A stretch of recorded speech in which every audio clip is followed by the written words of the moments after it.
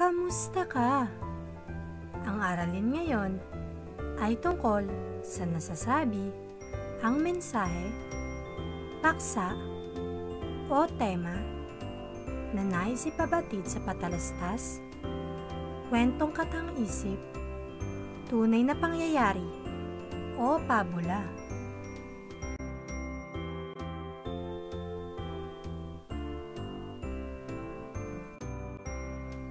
Ano ang paksa? Sabayan mo ako sa pagbasa. Ang paksa ang nagsasabi kung tungkol saan ang isang teksto. Maaari itong matagpuan sa unahan, gitna, o hulihan ng isang kwento o teksto. Oras na ng paggawa. Basahin at ibigay ang paksa ng maikling kwento. Isulat ito sa iyong kwaderno. Sabayan mo ako sa pagbasa. Si Mara ay isang mag-aaral sa ikalawang baitang. Likas sa kanya ang pagiging masipag. Hindi na siya inuutusan pa sa kanilang tahanan. Kusan niyang ginagawa ang paglilinis at paghuhugas ng pinggan. Maging sa paaralan ay puring-puri siya ng kanyang guro sa pagiging masipag sa pag-aaral at sa gampanin sa loob ng silid-aralan. Pangarap niyang maging guro balang araw upang makatulong sa mga batang Pilipino at sa pagunlad ng bansa. Isulat mo ang paksa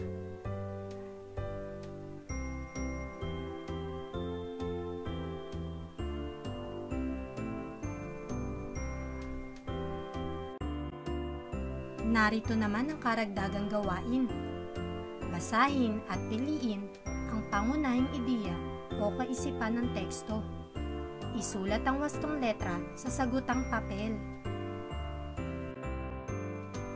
Ang dengue ay maiiwasan kung iba yung pag-iingat ay isa sa alang-alang.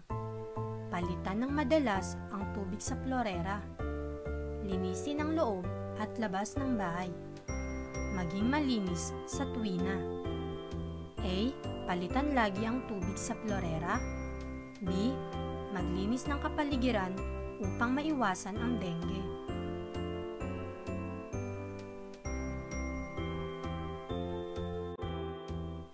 Kapag may sipon o ubo, iwasan ang pagdura kung saan-saan. Takpan ng bibig at ilong kapag umuubo o bumabahin nang hindi makahawa ng iba. Uminom ng maraming tubig at magpahinga. A. Ang mga dapat gawin kapag inuubo at sinisipon. B. Uminom ng maraming tubig at magpahinga.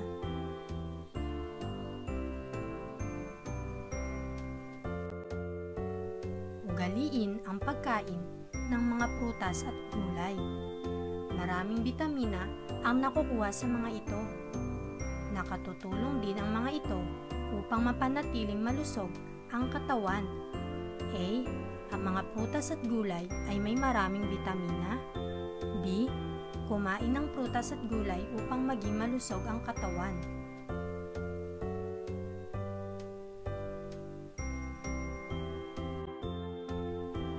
Uminom ng walo o higit pang baso ng tubig sa araw-araw. Nakatutulong ito para sa mabilis na pagtunaw ng ating kinain. Nasusolusyonan nito ang pagtigas ng dumi sa loob ng katawan. A. Kabutihang dulot ng sapat na pag-inom ng tubig. B. Bilang ng iinuming tubig araw-araw.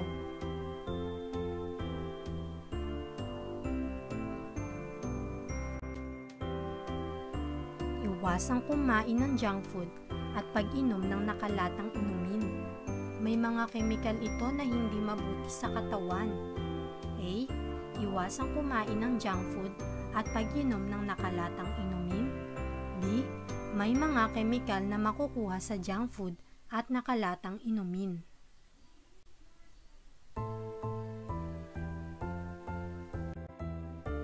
Ipasa na siguro ang iyong kasagutan. Laging tandaan na ang paksa ay ang mensaheng naisabihin nang babasahin. Hanggang sa muli. Salamat!